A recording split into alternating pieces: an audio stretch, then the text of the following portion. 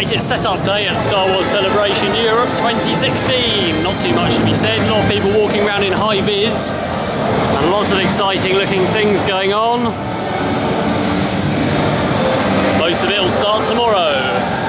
I have two passes. One is the exhibitor's pass with Finn on it, and the other one is my special R2D2 Builders Club pass.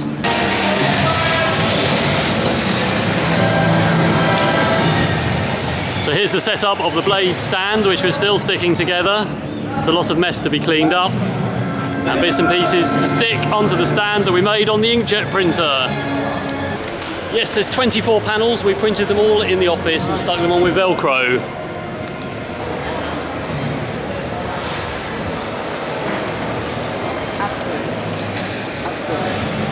Before Blade are exhibiting, I actually bought my own Saturday ticket, which comes with this exclusive lanyard, which you have to pay extra for, which is a lightsaber and a nice red silky lanyard. And also the exclusive t-shirt for Star Wars Celebration Europe. So Bladez Toyz are sponsoring the R2D2 Builders Club and we're providing inflatables for them to do races for members of the public to have a go for charity. And this is the R2D2 Builders stand. We've got all of the droids setting up today. yeah, the, yeah, the whole other side is... Over here is my 3D printed R6 droid next to a C3PO in progress. a lot of droids, lots of information about droids. And on the other side of the stand here, we've got BB-8 builders. So we've got my BB-8 and some other in progress droids and some almost complete droids as well. We've even got one BB-8 made from Lego. Are you excited about Star Wars Celebration yet? I'm phenomenally excited, I'm sweating. Good, and how is your Yoda? He just needs to work on uh, his right. head a bit and his lightsaber, but I think he'll then be ready for the battle. Super. And here are the others for the races, and we've got this big banner. R2D2 Builders Drive a Droid Arena, sponsored by Bladez Toyz. Share to win.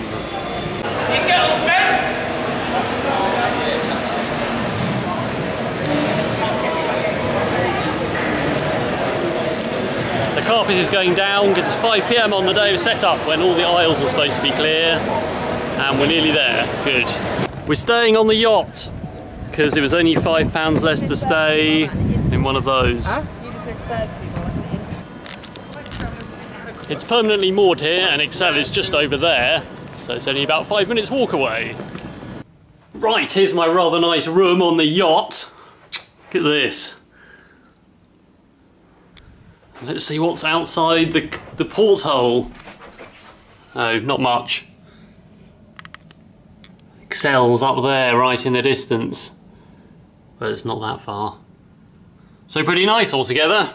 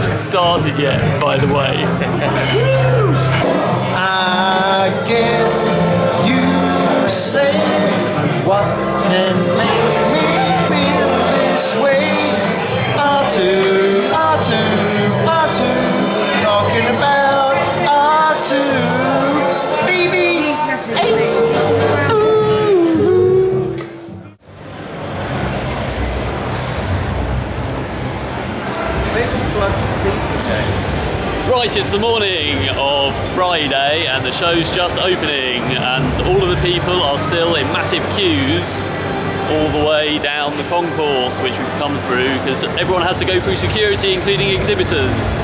But we're getting ready.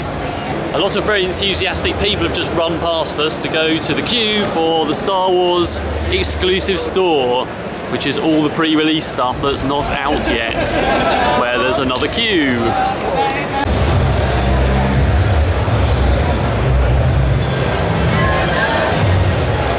So that's now the end of the queue for the store, which is backed up all the way to here from over there. Great. At least we have a captive audience to demo all the products.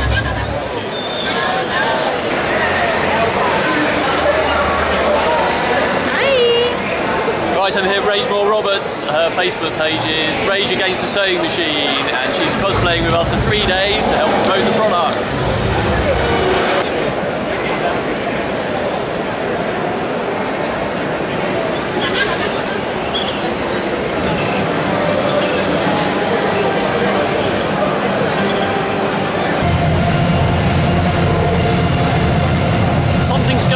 Screen. I think it's a Rogue One trailer, so everybody has just stopped and they're all staring the same way, and now the stand's a bit quiet, and they're still not that quiet.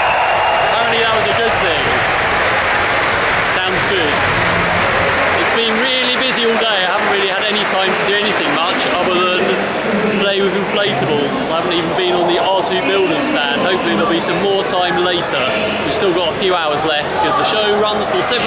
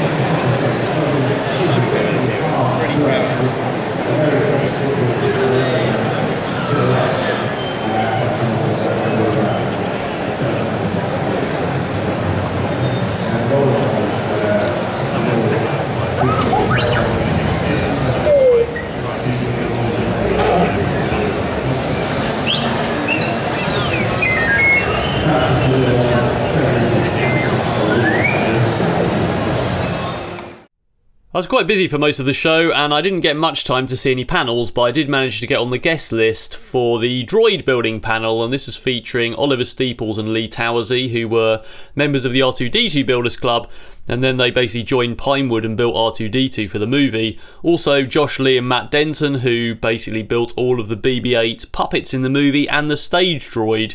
This is quite a good panel. It's on YouTube, in fact, I've put the link in the description. They didn't really want much filming in this panel. Uh, probably so there weren't loads of dodgy copies going around, so I took some still photos. It was an hour anyway, so it was quite a lot to film. But uh, there we go. I can't remember who the host was, but um, it was a pretty good panel, and they actually revealed in the end how the stage droid, the BB-8, actually works. Um, but I've got quite a lot of pictures. There's Oliver, some other um, droids. So there's a big screen up. That's why this is at a funny angle. But as I say, the whole YouTube uh, properly produced version is in the Star Wars YouTube channel, and I've put the link in the description. So don't forget to check that out. They brought out various droids. And uh, there's various behind the scenes photos. There's Matt and Josh. Uh, Matt, of course, has been in my channel with his Mantis robot, so check out those videos. That's a giant hydraulic hexapod you can ride in. Um, Josh brought out his concept uh, kind of puppet for how they were going to puppet BB 8 in the movie and drove it around.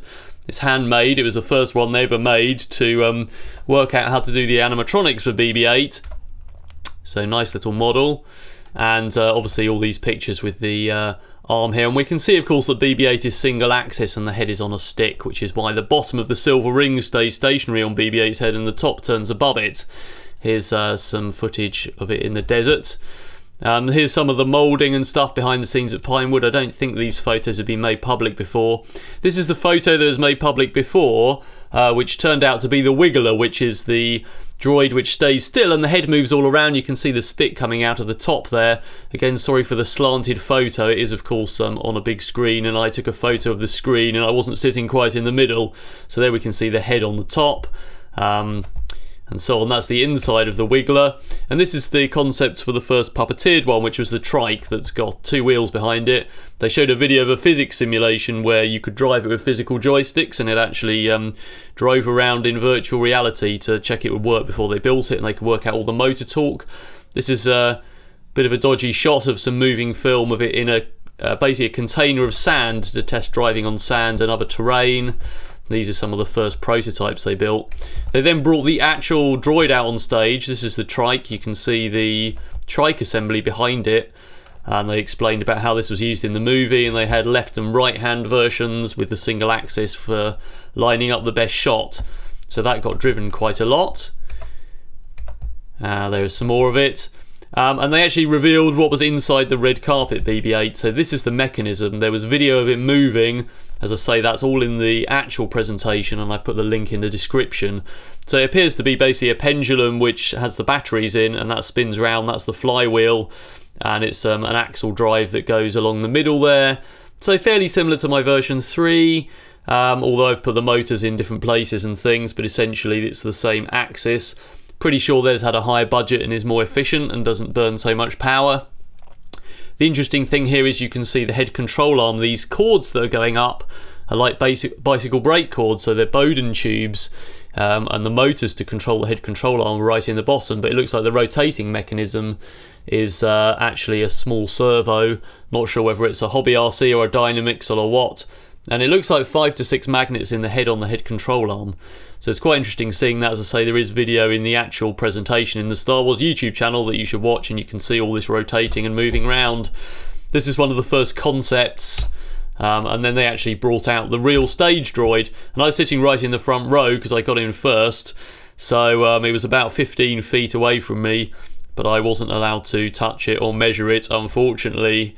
Um, and it went back in its box afterwards and got taken away. There we go, that's the final shot of that. So don't forget to check that link out in the description to this video.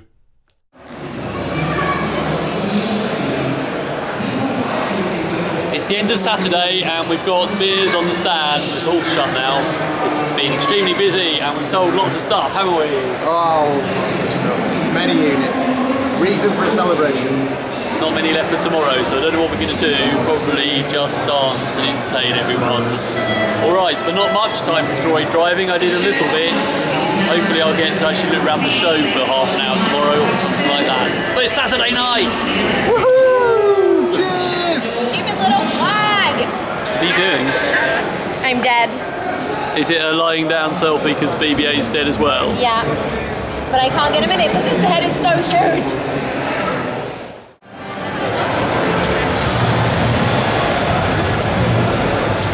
Show opening time on Sunday morning and already there's tons of people running for the store already. I'm a bit late because I had to walk the long way round and quite a few people heading in.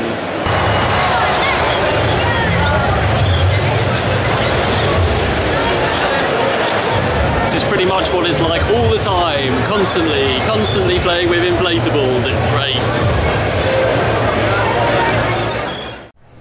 The other really interesting thing I managed to get into, there was a bit of a queue, but it wasn't too bad, was the Propel show. So this was an exclusive product launch at Celebration for a Star Wars quadcopter product or range of products, Millennium Falcon, X-Wing, TIE Fighter and Speeder Bike. And they put on this massive show. One of the huge halls at Excel was totally blocked out for this. 200 people could watch at a time and there was still a massive queue. So they had this massive Death Star uh, trench set up and they had loads of pilots. Some of them are hiding down in the trench. You can just see at the front. There was a laser show, loads of stuff, and they basically reenacted scenes from Star Wars with these quadcopter products. They're going to be premium products. They thought about 250 to 300 pounds in money to buy. Um, they're extremely high quality plastic ships. Um, they don't have massive holes cut through them to let air through like the Airhogs range. I can't really tell you too much about how they work. They were um, basically displayed at the end, but there was no photography. Um, the rotors are underneath, but the Millennium Falcon doesn't have huge holes in, so they've got some extremely interesting technology to allow that to fly. It turned out that Propel, the boss of Propel, um, actually watches my YouTube channel, and he came out and showed me one in person.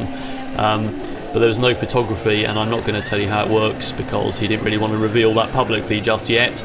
It's a pre-release product, so look out for that when it comes out. I'm not sure when it's going to be. But uh, yeah, extremely interesting, sort of high end of the market. Really nice packaging with lights and sound in as well, so really premium product. Right, I'm here Oliver Steeples from R2D2 Builders, who worked on episode 7, who's on the panel that's earlier in this video. Hi guys.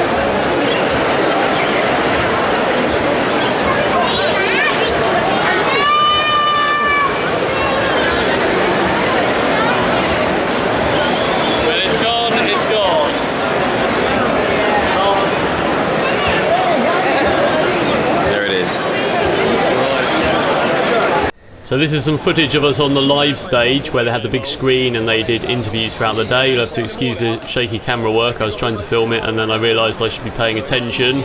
So we went on there to talk about Blade's radio-controlled inflatables. They had a nice Millennium Falcon set and they uh, mic'd us up and everything and I'm not sure it's in the live stream in the YouTube channel. There was quite a big Rogue One uh, display in the South Hall, which was the opposite hall to the one we were in. So they had lots of the costumes there. There is a Death Trooper, there we go, a couple of those. I guess these are the original actual things from the film rather than replicas. When we were in Nuremberg Toy Fair last year we saw some, but I'm not sure if they were the real ones. Definitely the BB-8 and Rey were replicas. There's some Stormtroopers. And a while ago, someone leaked a picture of a new type of helmet, and this looks like it is actually a character in the film. So that's what that is. But overall, the show was very busy. Most of the day, it was like this. It was shoulder to shoulder. We were allowed to drive droids around the show, apparently, but I wouldn't really fancy trying it with all these people, especially uh, BB-8 tripping everyone over. That's the giant AT-AT and the TIE fighter that they had there. What happens at the end of the trade show? all the all the inflatables get crushed.